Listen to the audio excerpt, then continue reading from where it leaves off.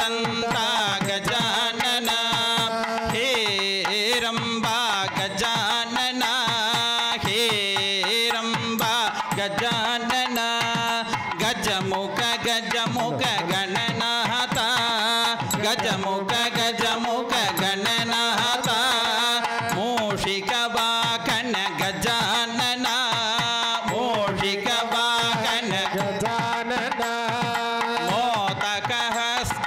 ಗಜಾ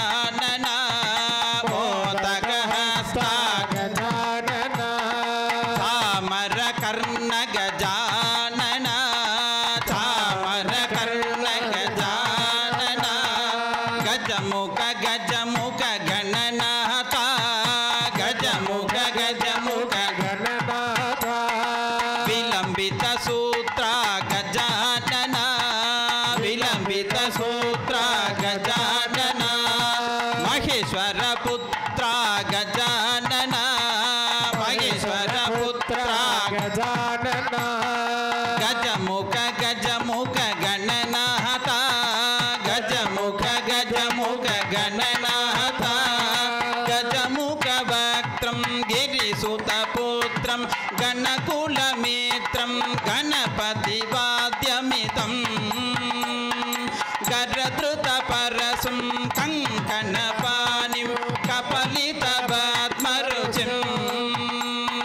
सुरपतिवन्द्यं सुन्दरनिर्दं सुरसितमणिमकुटं प्रणमतधेकं प्रकटिततालं षट्गिरितत्तत्तालमितं खटतटवितलितमतझलझलतित गणपतिवाद्य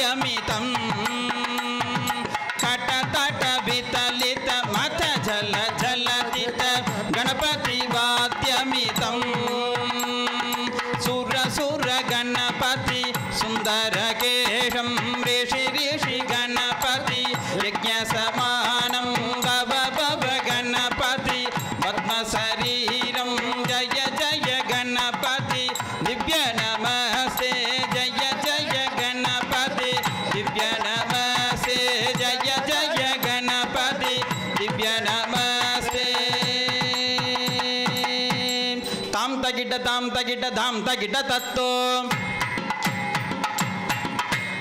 तत्तगिट तत्तगिट तत्तगिट दित्तो तक तगिट तक तत्तो धाम तगिट धाम तगिट धाम तगिट दित्तो। गिन्ना गिर्रा गिन्ना गिर्रा गिन्ना गिर्रा दित्तो। गिन्ना गिर्रा गिन्ना गिर्रा गिन्ना गिर्रा दितो।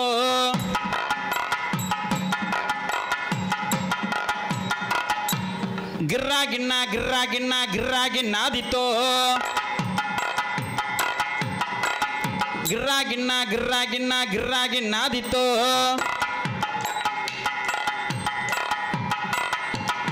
ताम तगिट तत्तो। तक तगिट तत्तो। धक तक धक तक धक तक तत्वं धक तक धक तक धक तक तत्वं ससिकलित ससिकलित मौलिनं सूलिनं ससिकलित ससिकलित मौलिनं सूलिनं विमल सुपकमल जन पातुकं पातुकं विमल सुपकमल जन पातुकं पाटिकम् प्रमदगुणगणगतिदशोभनं शोभिदं मृदुलमुदसरसितविधानकं भोजनं प्रणसवल्गदलिपलबोधनं बोध ಗುರು ಶಿವಧನಜ ಗಣಪತಿ ಗಣಪತಿ ತಾಲನೋ ಸುರ ಸುರ ಗಣಪತಿ ಸುಂದರ ಕೇಶಂ ಋಷಿ ಋಷಿ ಗಣಪತಿ ಯಜ್ಞ ಸಮಾನಂ ಭವ ಭವ ಗಣಪತಿ ಪದ್ಮ ಶರೀರಂ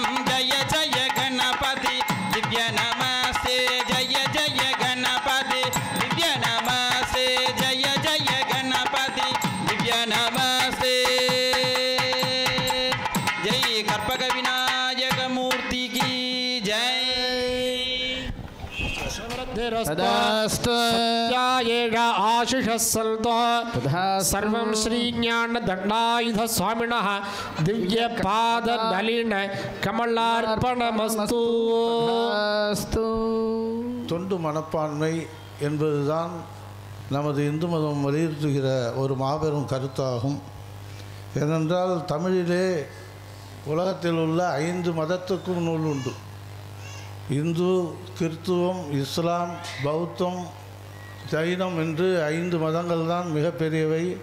ஐந்து மதங்களுக்கும் காப்பியம் உள்ள ஒரே மொழி தமிழ்தான்.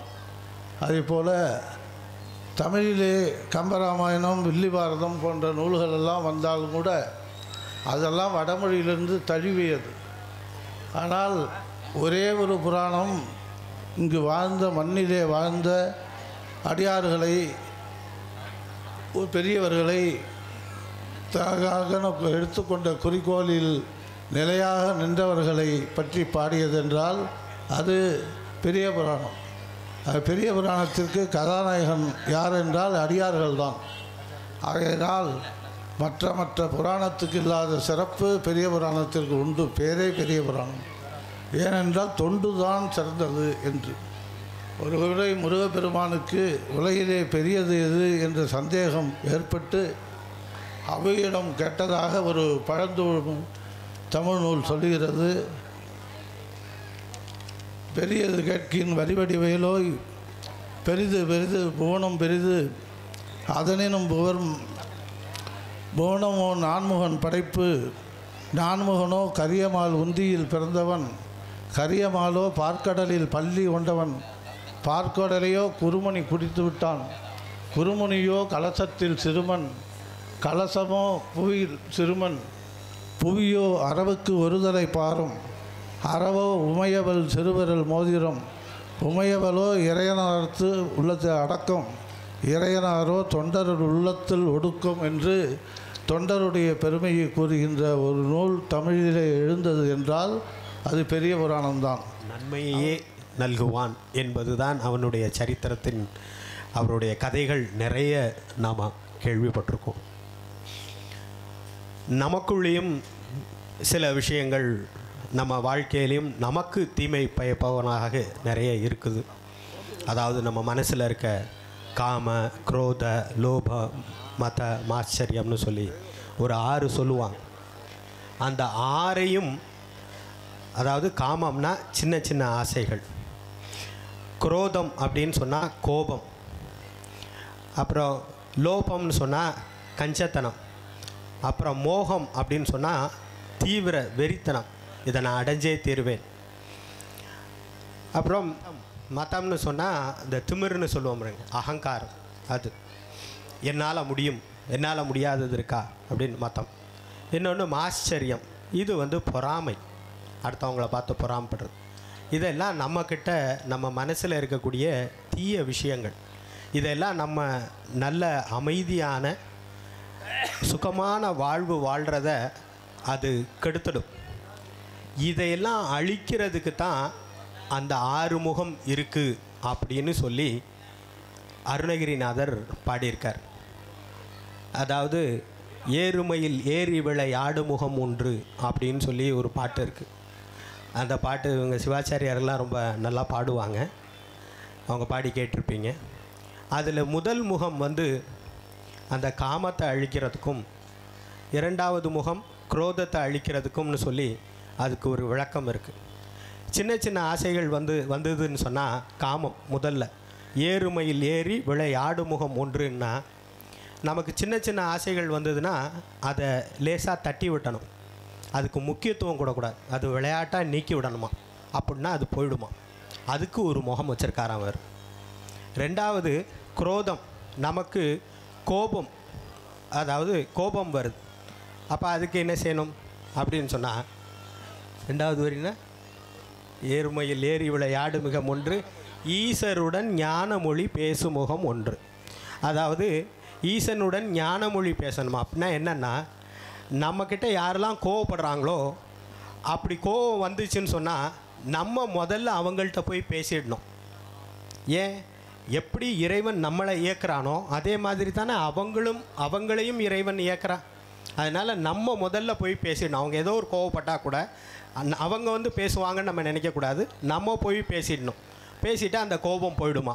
இது அவர் இரண்டாவது முகம் சொல்லுதான். மூன்றாவது லோபம். கஞ்சத்தனம். இது இருந்ததுன்னு சொன்னால் கூறுமடியார்கள் வினை தீர்த்த முகம் ஒன்று அப்படின்னு. அதாவது அந்த கஞ்சத்தனம் போகணும்னு சொன்னால் நம்மக்கிட்ட யாரெல்லாம் அடியார்களாக இருந்தாலோ இல்லை யாராவது வந்து கஷ்டம்னு நம்மள்கிட்ட வந்து கேட்டாங்கன்னா அவங்களுக்கு நம்ம கொடுத்து உதவணும்.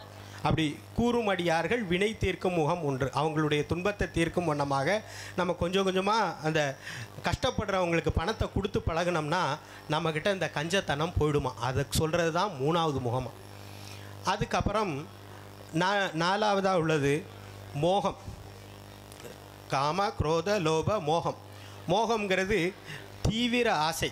அதாவது ஒரு விடாப்பிடியான வெறித்தனமான ஆசை. இதை நான் அடைஞ்சே தீருவேன் அப்படிங்கிற மாதிரி ஆசை இருந்ததுன்னு சொன்னால் என்ன பண்ணணுமா?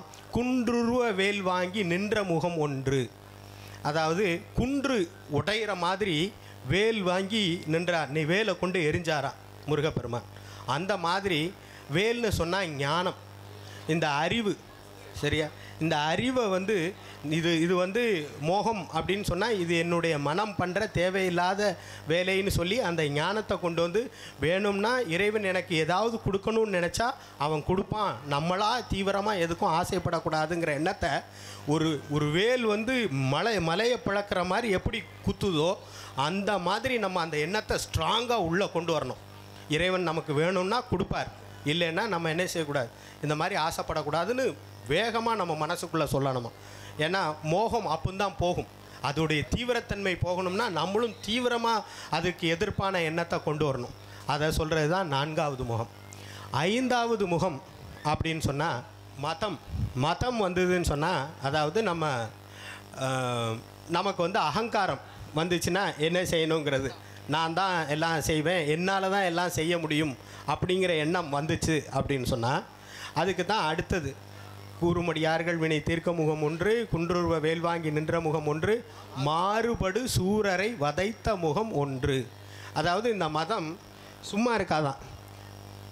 ஒவ்வொரு டைமும் ஒவ்வொரு மாதிரி மாறி வரும். அதாவது நீங்கள் நல்லது செஞ்சாலும் நான் தான் செஞ்சேன்னு வரும். கெட்டது செஞ்சாலும் நான் தான் செய் செஞ்சேன்னு வரும்.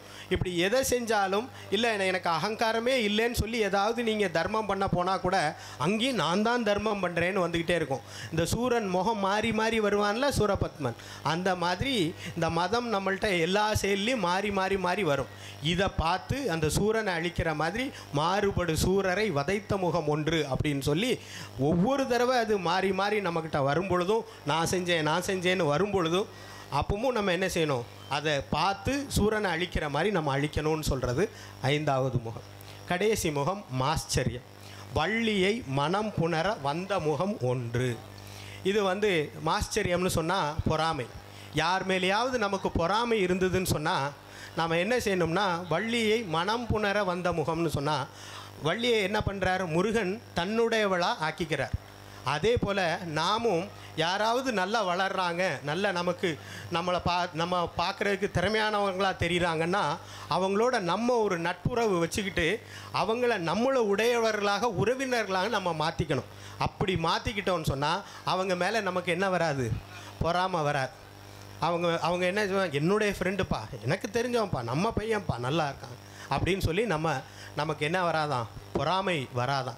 இப்படி இந்த ஆறையும் அதை கு ஆறையும் எப்படி ஆறு குற்றங்களையும் சொல்லி அதை எப்படி நிவர்த்தி பண்ணணும் அதிலிருந்து எப்படி விடுபடணும் ஜெயிக்கணுங்கிறத தான் அந்த இதில் அந்த பாட்டில் அவர் சொல்கிறார் இதுதான் அந்த பாட்டுக்கு பொரு இது இந்த ஆறு முகத்துக்கு இதுதான் பொருளுங்கிறத அடுத்த வரியில் சொல்கிறார் ஆறு முகம் ஆன பொருள் நீ அருளல் வேண்டும்னா இந்த ஆறு தீவனையும் என் மனசில் இருக்குது இந்த ஆறையும் அழிக்கிறதுக்கு நீ இந்த ஆறுமுகத்தோடு எனக்கு நீ வந்து நீ ஆறு முகம் ஆன பொருள் நீ அருளல் வேண்டும். நீ இப்படி அருளணும். எந்த எதுக்காக இந்த ஆறு முகத்தை வச்சுருக்கியோ அந்த விஷயத்தை என் மனசுக்குள்ளேயும் இருந்து இது எல்லாத்தையும் அழித்து நீ அருள வேண்டும். ஆதி அருணாச்சலம் அமர்ந்த பெருமானே அப்படின்னு சொல்லி அருணகிரிநாதர் முடிக்கிறார். அருணாச்சலத்தில் இருக்கக்கூடிய முருகப்பெருமான் தான் இவருக்கு வந்து குருவாக வர்றார். இவருக்கு கம்பத்திலையனாராக வந்து எல்லா விஷயங்களையும் செய்கிறார் அதனால் அந்த முருகப்பெருமானை வச்சு அவர் பாடியிருக்கார் அருணகிரிநாதர் அதனால் நமக்குள்ளேயும் இந்த மாதிரி தீய எண்ணங்கள் இருந்ததுன்னு சொன்னால் தீயவைகள் இருந்ததுன்னு சொன்னால் முருகன் களல் பிடிங்க அவர் இருக பற்றுங்க இந்த கோயில் உங்களுக்காக தான் இந்த இந்த இந்த நகரத்துக்குள்ளே ஊன்றி இருக்குது அது உங்கள் வாழ்க்கையை சிறப்பு பண்ணுறதுக்கும் உங்கள் வாழ்க்கையை அமைதிப்படுத்துறதுக்கும் தான் இந்த கோயில் இங்கே நிலை பெற்று இருக்குது. முருகன் உங்களுக்காக தான் இங்கே வந்து உங்கள் கவலைகளையும் தீமைகளையும் அழிக்கிறதுக்கு இங்கே காத்துக்கிட்டு இருக்கார். நீங்கள் பண்ண வேண்டியது ஒன்றே ஒன்று எல்லாத்தையும் அவருடைய கா காலில் வச்சுட்டு நீங்கள் பா நீங்கள் பாட்டுக்கு எந்த கவலையும் இல்லாமல் நிம்மதியாக இருக்க வேண்டியது தான் அந்த சரணாகதி உங்கள் எல்லாருக்கும் வரட்டும். இந்த தீமைகள் எல்லாருக்கும் உங்களுக்கு போகட்டும். அந்த ஆறுமுகம் ஆன பொருள் உங்களுக்கும் அருளட்டும்னு சொல்லி உங்கள் எல்லாருடைய திருவடியும் பற்றி நான் நன்றி கூறி இறைவனுடைய ஆசீர்வாதத்துக்காகவும் வேண்டி முடித்துக்கொள்கிறேன் நன்றி வணக்கம். அரகர நம பார்வதி பதயே அரகர மகாதேவ கார்த்திகேயாய வித்மஹே சக்திகஸ்தாத தீமஹ.